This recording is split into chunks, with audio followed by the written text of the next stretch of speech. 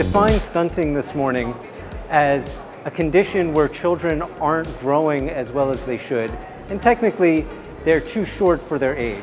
But the problem goes much beyond that because it's not just failing to grow physically, it also affects their cognitive development and their function throughout life, that they're less economically productive as adults, that they're more prone to other infections as adults. International workshop on stunting and gut dysfunction is a significant milestone in nutrition history in the state of Odisha and also in India. I'm very glad that the topic particular workshop has been stunting and gut dysfunction because these areas where the maternal and child health need to be addressed are very well being addressed by the AIPHU. people like me who work on uh, translational research to policymakers and pediatricians. Uh, so a variety of stakeholders came and discussed about stunting from various different viewpoints.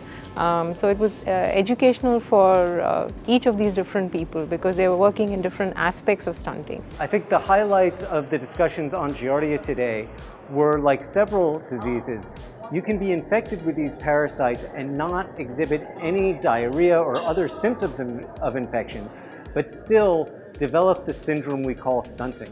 That it's just repeated infections that lead to what we call gut dysfunction. The body doesn't assimilate nutrients properly, so that even when you are properly nourished, you're not going to get the nutrition you need to grow. Gut microbiota has a symbiotic relationship with us and it controls the energy metabolism.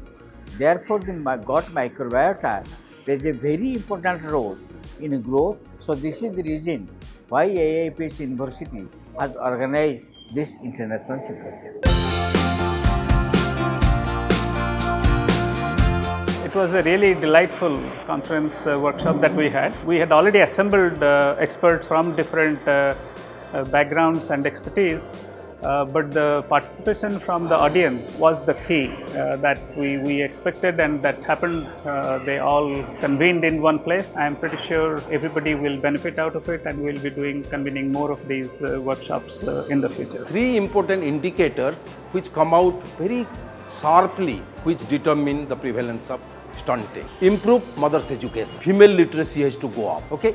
Improve the level of income among the people. So more social protection measure, more employment and livelihood opportunity for people and more focus on tribal development. I mainly focused on uh, looking at uh, the effect of helminth infection on uh, stunting as well as malnutrition in children. Our work has shown that helminths are one of the major causes of stunting and malnutrition and that getting rid of helminths and would, would be beneficial to the society at large.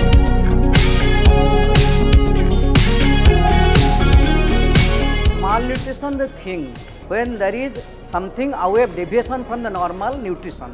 So either it's a decrease, it's a undernutrition, it's increase of overnutrition.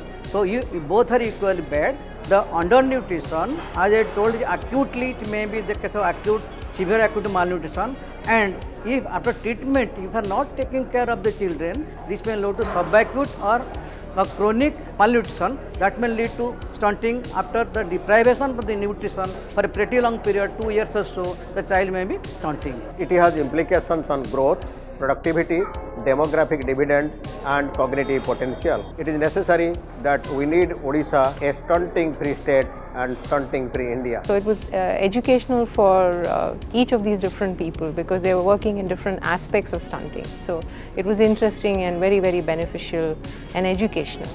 This workshop will help the students to know about the scientific deliberation, its importance and how it is conducted and what are the benefits of it. They will have a great insight and to witness world-renowned faculties and scientists. So they'll be definitely benefiting their career growth in terms of the research priorities and further publication.